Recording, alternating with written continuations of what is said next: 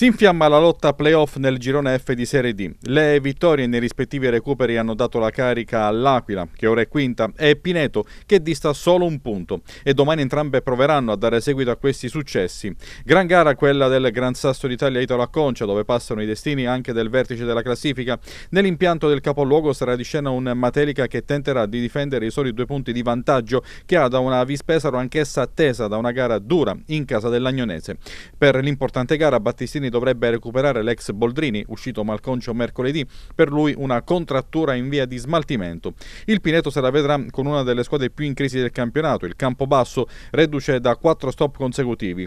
Tra i molisani mancheranno gli squalificati Danucci e Carcbo e il tecnico Foglia Manzillo per necessità e per scelta potrebbe cambiare il volto alla squadra attingendo dalla Juniores. Il Pineto proverà ad approfittare delle difficoltà degli avversari e del clima di contestazione che si respira nel capoluogo molisano.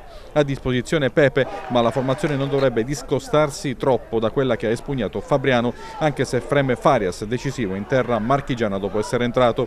Unico derby sul neutro di Pineto, dove il San Nicolò attende l'Avezzano. La società teramana ha indetto ragionata bianca-azzurra. La squadra ha urgente necessità di punti per rendere più praticabile la strada salvezza. Rosa praticamente al completo per il tecnico Montani. Di contro un Avezzano che è a pochi passi dal centrare i playoff. Il tecnico Giampaolo dovrà rinunciare ancora a Fanti e Sbardella. Al loro posto Lombardi e Tariuk, probabile forfè anche di Bisegna.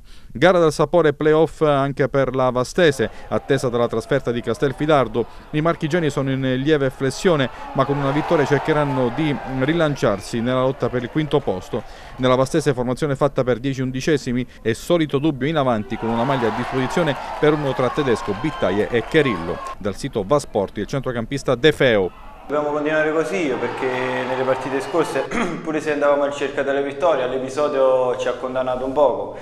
Invece nelle ultime partite abbiamo cercato, cioè, ci abbiamo messo più attenzione, abbiamo lavorato in settimana sugli errori che avevamo fatto e con uh, i tre punti di domenica siamo, siamo ripartiti. I nerostellati saranno di scena al Barbati di Pescina contro la San Giustese, Marchigiani ancora in corsa per i playoff, Pratolani a caccia di soddisfazioni per rendere meno amara l'imminente retrocessione. Test casalingo per il Francavilla che se vuole restare in corsa per i playoff dovrà espugnare il tabù casalingo contro la Jesina. Al Valle Anzuca la vittoria manca da fine gennaio, torna a disposizione Mimmo Di Cecco. Sicuramente veniamo da una prestazione importante a Matelica, di questo siamo veramente molto contenti, però domani come ho detto ai miei ragazzi eh, domani passa l'ultimo treno e dobbiamo assolutamente prenderlo perché secondo me lo meritiamo, la squadra nonostante le varie problematiche che ha avuto ha sempre reagito bene e domani l'occasione giusta per, mm, per fare una bella partita, per fare una bella vittoria che ci consente sicuramente di stare attaccato alla, alla griglia dei playoff.